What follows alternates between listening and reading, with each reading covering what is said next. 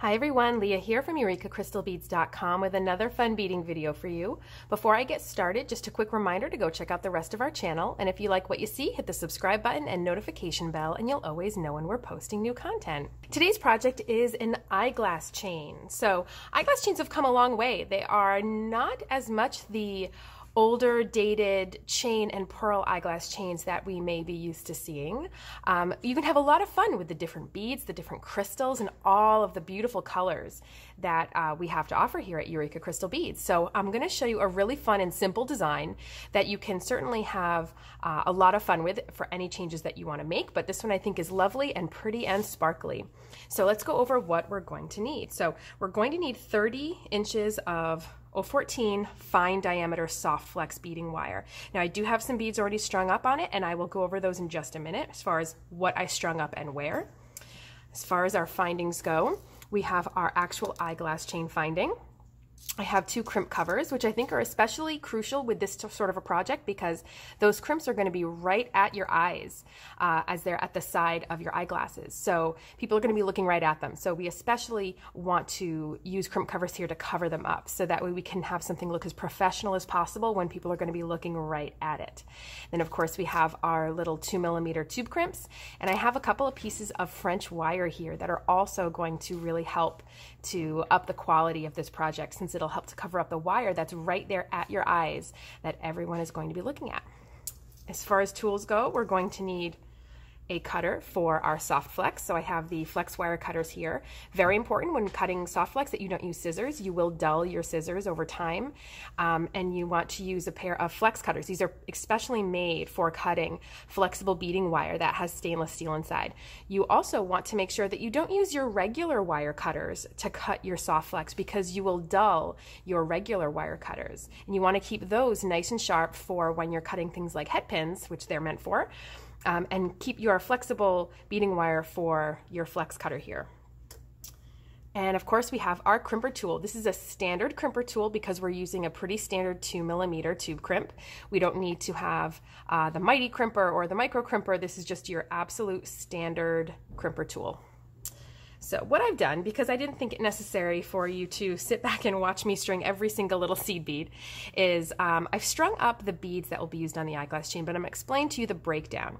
So I started in the center because I find that the easiest way to come up with the design is starting at the center, uh, which is going to be at the back of the neck. So I kept it pretty simple with just seed beads because a lot of that's not going to be seen. However, if you have shorter hair, you tend to wear your hair up, you can certainly add some lovely interest at the back as well.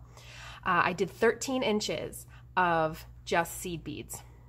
Then what I did is I started to incorporate my three millimeter bicone crystals, and these are in Montana Blue AAB, which I think is a gorgeous color. And in this case, I did go monochromatic, and I matched the crystals to the seed beads. Uh, you can certainly have as much fun as you want, and you can make it pop a little more, or you can stick with a monochromatic look like I did.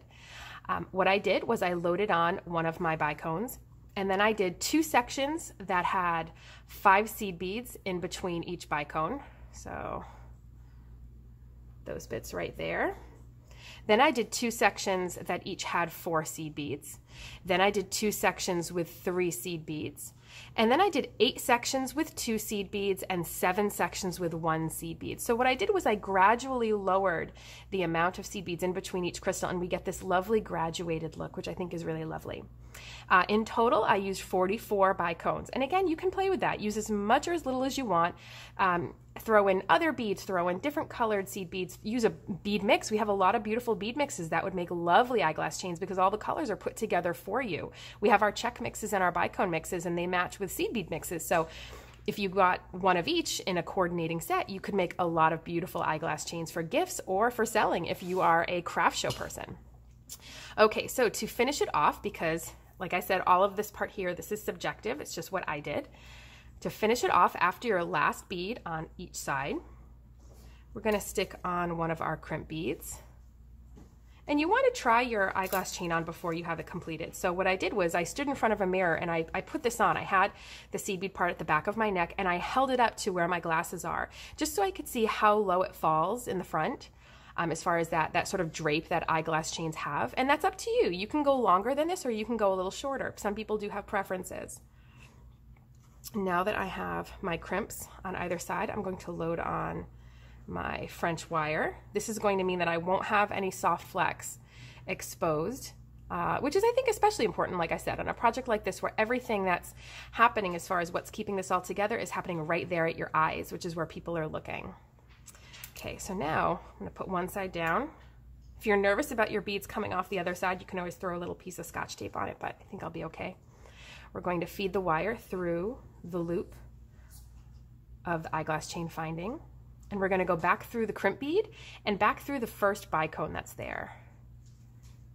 It's always a good idea, if you can, to feed that wire back through a bead or two at the end, just so that way when you snip it off, you're not snipping right next to the crimp. And right now, we don't have to worry about tightening this up because all of these beads can slide down later.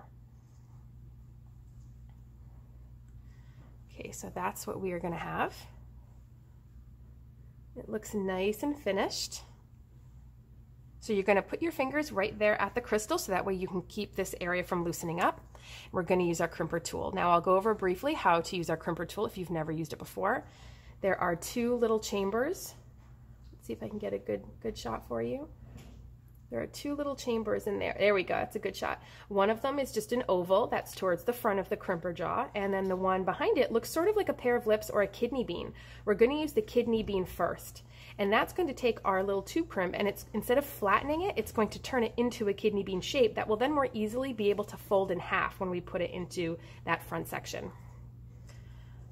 Now before you crimp, just make sure that your whole crimp is in there and nothing's sticking out, nothing's where it shouldn't be. Give it a squish. So we have our little kidney bean shape, as you can see. We're gonna turn that kidney bean up on its side. We're gonna put it in the front chamber and we're gonna fold it in half. So when we put it into the front chamber, we set our kidney bean up so it looks uh, like it's sitting upright like a letter C. So we have that crimp all set. We're going to snip down at our crystal and slide our beads down. And we're gonna do the same thing on the other side. Thread our wire through the eyeglass chain finding, back through the crimp bead, and back through that first crystal at the end. And now with this side, we do have to make sure we pull this tighter. So we're gonna hold that tail of wire and hold your eyeglass chain finding and pull towards the rest of the eyeglass chain. As you can see, it helps to tighten it all up. Because you ideally don't want to see your beads able to wiggle where you can see soft flex exposed. So, and that's what we have here. We have a successful crimp attempt.